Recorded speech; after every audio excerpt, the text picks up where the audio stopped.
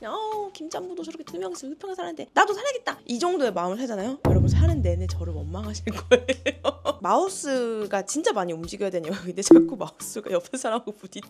터널 지나가면 살짝 숨이 막혀요. 가끔 집에서 겪을 때가 있어요. 내가 몸테크로 무엇을 얻게 되는지 정확히 알고 있어야 돼요. 이게 가장 중요한데요. 즉 몸테크에 대한 목적 의식이 명확해야 됩니다. 다른 사람들에게 내가 서울 사는 사람으로 인지가 되어야 하는 마지막 세 번째는 조금 민감한 부분일 수 있는데 이 삶을 공유할 자신이 있나? 2019년 8월에 제가 메모장에 이런 걸 써놨더라고요. 처음부터 다 갖출수록 김전부. 아, 안녕하세요. 짠소리 부자의 김전부입니다. 여러분 지금 시간은 밤 11시 26분. 이제 일딱 끝내고 아직 옷도 갈아입지 못한 채로 영상을 찍고 있는데요. 여러분 그거 아세요? 제가 서울에 온 지 벌써 1년이 다 돼가요. 제가 이제 작년 10월부터 남편이랑 같이 육평 원룸에 살면서 미쳤다. 서울 너무 좋다 막 이러면서 이제 육평 삶에 대한 언급을 많이는 사실 아니고 좀 종종 언급을 했었는데 제가 이제 거의 1년 가까이 살고 있고 제가 지금 이사를 준비하고 있거든요. 그래서 이 과정에서 정말 몸테크에 대한 이야기를 꼭 한번 짚고 넘어가야겠다라는 생각이 들어서 이제 바로 영상을 켰습니다.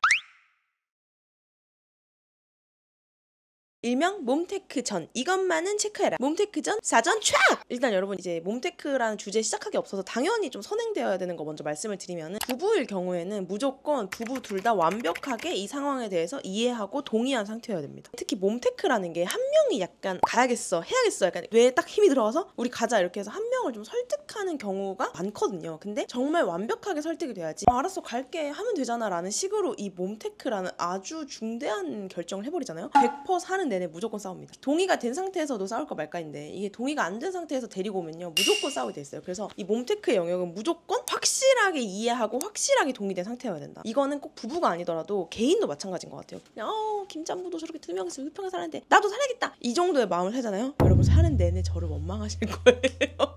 그래서 최대한 그런 부분은 좀 미리 사전 체크를 해놓는 게 좋다. 사전 촥! 자 그래서 몸 테크 하기 전에 무조건 알아야 하는 첫 번째 나의 하루 중에 시간을 가장 많이 쓰는 곳이 어디인지 무조건 미리 알아야 됩니다. 저랑 남편은 지금 같이 일을 하고 있는데 저희 둘은 출근해서 일할 장소가 있어요. 정말 이 집에서는 잠만 자요. 근데 이제 어쩔 수 없이 뭐 주말에 일을 해야 된다거나 하, 일단은 여기서 머리가 더 안 굴러가니까 집에 가서 씻고 refresh 좀 하고 다시 이제 거기서 일하자. 뭐 이런 순간들이 꽤 있잖아요. 근데 저희 둘 다 이제 기본이 영상 작업이고 특히 제가 영상 작업을 주로 하는데 마우스가 진짜 많이 움직여 야 되냐고 근데 자꾸 마우스가 옆에 사람하고 부딪혀. 그래서 이 마우스 반경이 굉장히 작게 설정이 제가 되어 있어요 지금. 이제 그러다 보면 저처럼 약간 조금 승질머리가 가끔씩 팡 올라오는 사람들은 물론 이렇게 팡 내뱉지는 않지만 속으로 윽윽 하는 순간이 이제 오는 거죠. 과거에 정말 책상도 없었다는 식탁도 없었다는 저희 부모님 그 시대를 생각해 보면은 이 책상 하나도 매우 매우 감사한 거죠. 근데 지금은 2024년이잖아요. 라는 생각이 자꾸만 들면서 빨리 이사 가고 싶다라는 생각이 예를 들어서 제가 뭐 넷플릭스 볼 때 그런 그- 그럴 땐 전혀 뭐 불평불만하지 않아요. 행복해. 근데 와 내가 지금 딴 것도 아니고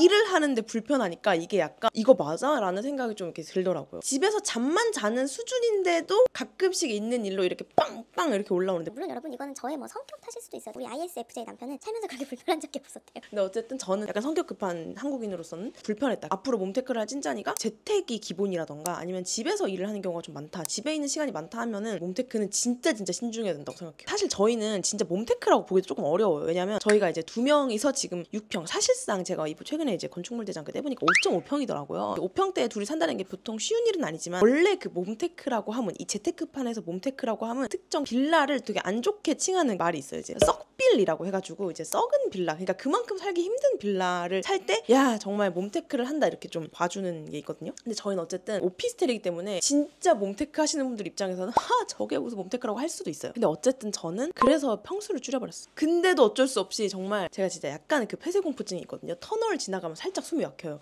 근데 그 느낌을 가끔 집에서 겪을 때가 있어요. 진짜로. 그래서 몸테크를 하기 전에는 꼭 내가 어디서 많이 시간을 보낸 사람인지를 꼭 체크를 해둬야 된다. 그리고 두 번째, 내가 몸테크로 무엇을 얻게 되는지 정확히 알고 있어야 돼요. 이게 가장 중요한데요. 즉 몸테크에 대한 목적 의식이 명확해야 됩니다. 제가 어쨌든 1년 가까이 둘이서 5.5평에 살고 이 이후에 이제 집을 알아보는 과정에서도 어, 처음에는 저도 하, 나 그냥 이제는 사람 좀 초대하고 싶다, 집들이 좀 하고 싶다 하면서 막 큰 평수를 알아보다가 다시 좀 정신 차리고 목적 의식을 다시 생각하면서 여기를 지금 1년 더 연장할지 아니면 그냥 같은 평수 혹은 10평 아래 그 원저리로 좀 이제 빌라로 갈지 이런 고민들을 하고 있거든요. 그 이유가 바로 저는 이 몸테크를 통해 얻게 되는 게 무엇인지 되게 정확히 계산했고 정확히 알고 있었기 때문이에요. 월세가 싼 편은 아니에요. 근데 어쨌든 저는 그 용인에서 서울까지 왔다 갔다 하는 정말 그 교통비 기름값 그 외에 가장 가장 가장 진짜 힘들었던 정말 시간을 많이 쓰는 거 정말 도로에만 3, 4시간씩 쓰니까 남편이 대부분 운전을 했는데 남편이 운전하고 나면 체력이 너무 쭉쭉 빠지는 게 느껴지는 거예요. 근데 진짜 그렇잖아요. 운전 진짜 막 오래 하면은 정신적으로나 몸적으로나 되게 피곤하잖아요. 그러니까 이건 시간도 쓰는데 체력까지 쓰는 거예요. 그리고 또 하나 이제 저에겐 좀 가장 큰 부분이었던 다른 사람들에게 내가 서울 사는 사람으로 인지가 되어야 한다는 거였는데 이게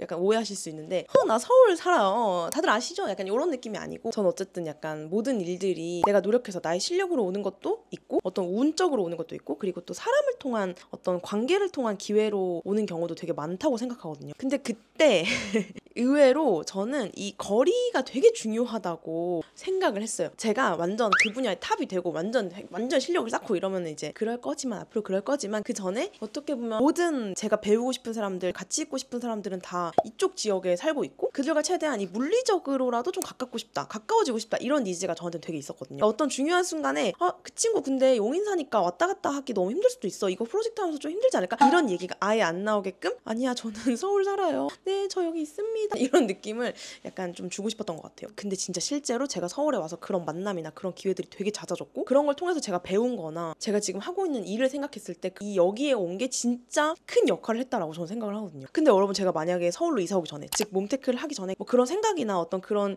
꿈을 품고 오지 않았다면 어, 내가 여기서 지금 뭐 하는 거야? 내가 이렇게까지 살아야 돼? 라는 생각을 엄청 많이 했을 텐데 저는 제가 여기를 오게 되는 순간부터 얼마나 돈을 아끼게 되는지 얼마나 시간을 세이브하게 되는지 얼마나 많은 사람을 만나게 될지 약간 이런 것들을 생각하고 계산하고 꿈꾸고 왔다 보니까 이 모든 것들이 그래 내가 이러려고 몸테크 하지라는 어떤 이유가 계속 충전이 되어주더라고요. 몸테크의 엔진이 꺼지지 않는 거죠. 왜냐? 내 엔진은 이거야 라고 내가 정하고 왔으니까. 근데 몸테크 하기 전에 그 엔진을 정해놓지 않잖아요. 그러면은 아 그냥 당연히 다 불편하지. 이 뭐가 편하겠어요? 집에서 요리하기도 힘든데. 근데 어쨌든 그런 나의 엔진들이 계속 충족이 되니까 몸테크 하는 게 물론 힘들 때도 있지만 그래도 또 버틸만하다라는 게 되더라고요. 그래서 의외로 가장 중요한 건 이 두 번째 그리고 마지막 세 번째는 조금 민감한 부분일 수 있는데 이 삶을 공유할 자신이 있나라는 걸 꼭 체크를 해야 돼요. 이건 사실 개인이보다는 부부에 조금 더 맞춰진 이야기 같은데 왜냐면 개인은 뭐 어 나 몸테크 할 거야. 한 5평 원룸에 살 거야. 나 뭐 고시원 살 거야. 라고 했을 때 뭐 그 누군가가 뭐 어, 그래. 야 열심히 살아라. 라고 하지 막 그거에 대해서 딱히 뭐라고 하지 않잖아요. 근데 이게 부부가 되면 약간 얘기가 달라지는 게 되게 다른 부부들도 많고 이 특히 부부는 뭔가 뭐 집들이나 다른 부부들하고 좀 비교할 수 있는 대상이 되기도 하잖아요. 그리고 저는 어쨌든 아까 말했던 그 2번 저의 몸테크에 대한 목적의식이 분명했고 저는 개인적으로 저한테는 이 길이 완전 맞다. 이거는 이렇게 가야만 한다. 왜 그렇잖아요. 그렇게 생각해야 여기 올 수 있지. 어 이게 맞나 하면 여기 올 수 있겠어요. 나만의 깃발을 명확히 꽂았기 때문에 이 삶이 알려지는 것에 대해서 전혀 완전 아무렇지도 않긴 했는데 제 친구가 이제 최근에 아, 사실 나 너가 이렇게 6평 원룸 사는 거 공개하는 게 되게 대단해 보였다. 나라면 진짜 못할 것 같다. 그리고 실제로 이 채널을 저만 보는 게 아니고 곧 65만 찐짠이들이 봐주기도 하지만 또 우리 가족들도 보잖아요. 그러니까 또 가족만 봐요? 가족의 친구들도 다 봐요. 다 안단 말이에요. 그러면은 이제 저희 오빠도 이제 연락을 받는 거죠 야 너 거기로 이사했더라. 뭐 이런 거. 어쨌든 저도 컨텐츠로 내긴 되지만 그런 것들을 어느 정도 견뎌야 하는 거예요. 근데 만약에 내가 야 수덕수덕 걔네 뭐 어쩌고 5평 6평 산데 쭉쭉 이런 걸 좀 비교낼 자신이 없다 하면은 진짜 좀 생각을 해봐야 되는 것 같아요. 남편하고 진짜 행복하게 으쌰 으쌰만 해도 이겨내기 힘들 때가 있거든요. 근데 으쌰 으쌰가 남들의 말 때문에 자꾸 풀이 죽어, 맥이 빠져 이러면은 조금 어려울 수 있는데 어쨌든 이거를 어느 정도 미리 알고 오면 어, 사람은 무조건 알고 생기면 그렇게까지 당황스럽지도 않고 그렇게까지 힘들지도 않거든요. 근데 사실 저는 결혼 2년 전에 2019년 8월에 제가 메모장에 이런 걸 써놨더라고요. 처음부터 다 갖출수록 부자가 되는 건 늦어진다. 그 중에 가장 가성비 좋은 것은 집이 다. 그러니까 이게 제가 차마 여기다가 썩빌이라고 쓸 수가 없어가지고 그냥 집이라고 써놨는데 이때 당시 이 부익남님 컨텐츠거든요. 그 컨텐츠에서는 정말 가성비 좋은 집, 그러니까 비싸고 좋아 보이는 집이 아니라 일단 내가 월세를 조금이라도 더 적게 낼 수 있는 집이 가장 가성비가 좋은 것이다. 왜냐? 쪽팔림은 잠시고 돈 갚는 건 지속되기 때문이다라는 이런 문장이 있는 부익남님도 신혼부부 시절에 13평 빌라인가 8평 어, 진짜 좁은 빌라에 곰팡이 나는데 막 살았다고 하시더라고요. 친구들은 당연히 못 불렀고 부모님을 모시고 딱 왔는데 어쨌든 부모님이 보시긴 보셔야 되잖아요. 신혼집이니까. 근데 거의 뭐 몇 초 만에 아유 야 안 되겠다 이러고 이제 앉지도 못하고 나갔다고 하시더라고요. 근데 그걸 보면서 당연히 음 뭐 어쩔 거야 이렇게 하기 어려웠겠죠. 근데 이 모든 쪽팔림은 잠시라고 생각을 했대요. 당장 내가 집들이 화려하게 하고 이렇게 하는 것에 대한 그 값이 결국에는 수많은 정말 영끌 대출로 이루어지잖아요. 그 돈 갚는 건 무제한 지속되는데 이 쪽팔림은 뭐 잠시 눈치라는 거예요. 이 사람들이 집 가서 뭐 어우 쟤네 뭐 좁다던데 이렇게 하지도 않을 거다. 어, 자기 살기 바쁘다. 남 그렇게 신경 안 쓴다. 이렇게까지 제가 이제 생각을 하면서 저는 2019년이니까 결혼하기 무려 2년 전부터 어, 이런 것들을 생각했던 것 같아요. 이제 와서야 이 말이 진짜 진정으로 더 와닿는 것 같아요. 쪽팔림? 뭐 어쩔 거야. 뭐, 뭐 내가 살겠다는데 어쩔 거야. 약간 이런 마음이 있어서 이사를 하는 것과 괜찮을까? 아 일단은 해야겠다. 약간 이런 마음으로 이사를 하는 거는 조금 그 후가 다를 수도 있다. 오기 전에 이사하기 전에 이런 것들을 정리하고 좀 생각하고 오면 좋다. 그러면 적어도 저처럼 1년은 살 수 있고 연장선상에서도 다시 막 아파트로 가야겠다. 다시 넓은 곳으로 가야겠다. 라기보다는 그래도 난 이 삶을 더 선택해야겠다라는 게 좀 되더라고요. 근데 어쨌든 여러분 제가 늘 말하지만 저는 돈 모으기를 위한 돈 모으기를 하는 게 아니듯이 어, 몸테크를 위한 몸테크를 하는 게 아닙니다. 어, 40대 정말 그 서울 어딘가 전원주택에 살고 싶어요. 제가 전원주택에 살고 싶다. 옛날엔 그게 용인이었는데 지금은 이제 서울로 바뀌었거든요. 40대쯤에는 제가 그런 곳에 살기 위해서 정말 열심히 돈 모으면서 이렇게 이제 몸테크를 하는 거기 때문에 또 한 번 늘 얘기하지만 이 몸테크가 목표가 되면 안 된다. 아시죠? 이건 수단일 뿐이다. 어, 사실 저도 요즘에는 어쨌든 퇴근하고 이제 집에 와서 이렇게 보니까 집이 뭔가 어쨌든 쉬는 공간은 아닌 거예요. 그냥 아 하면서 이제 씻고 자는 공간이어서 저도 사람인지라 아 그냥 진짜 조금 더 넓은 데 갈까 조금 더 넓은 데 갈까라는 생각을 했었는데 어떻게 보면 찐짜리들에게 이 영상 편지를 남기면서 저도 뭔가 다시 좀 생각 정리가 된 것 같아요. 그래 내가 서울에 왜 왔어? 김짬보 목적의식 잃지 마. 제 옆구리를 제가 좀 찌르는 느낌? 특히 이제 이 쪽팔림은 잠시 돈 갚는 건 지속이다라는 말이 거의 뭐 그 용한 선생님이 한마디 찔러준 것 같은 그런 느낌이에요. 우리 5년 전에 내가 지금의 나에게 필요한 말을 던져놨던 거지. 음, 늘 찐짜리들에게 고마워요. 뭔가 찐짜리들에게 말해야지 이런 말을 해야지라고 생각을 하다 보면은 결국 그게